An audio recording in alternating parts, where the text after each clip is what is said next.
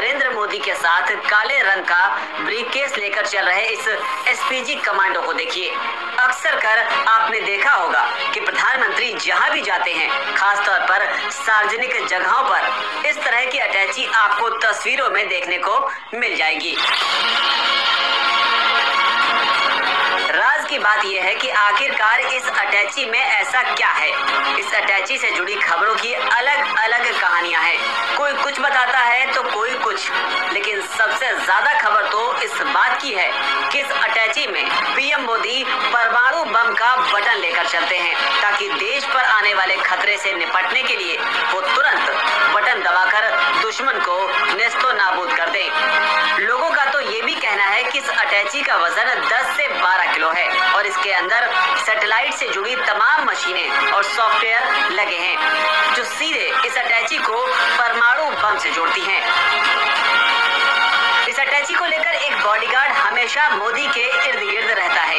इस अटैची की सच्चाई जानने के लिए हमने पड़ताल की तो यह हकीकत सामने आई। प्रधानमंत्री के साथ चलने वाली यह अटैची नुमा चीज़ कोई परमाणु बम का बटन नहीं, बल्कि ये तो पोर्टेबल बुलेट प्रूफ शील्ड है। हमले के वक्त ये तीन हिस्सों में खुल जाता है और ये एक शील्ड की तरह काम करता है।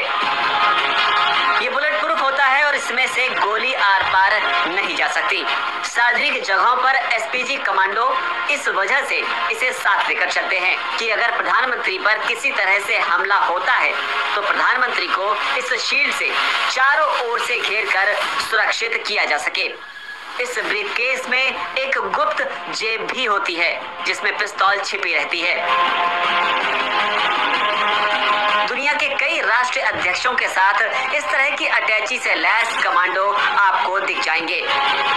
तो अगली बार अगर आपको प्रधानमंत्री के साथ ऐसी अटैची नज़र आती है तो उसे परमाणु बम का बटन समझने की भूल मत कीजिएगा, क्योंकि परमाणु हमले जैसे महत्वपूर्ण फैसले काफ़ी सोच समझ कर किए जाते हैं। जल्दबाजी में नहीं।